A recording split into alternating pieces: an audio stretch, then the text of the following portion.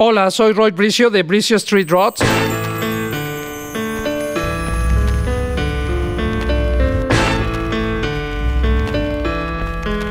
Nunca me han interesado los coches de exhibición. Para nosotros esto se trata de manejar.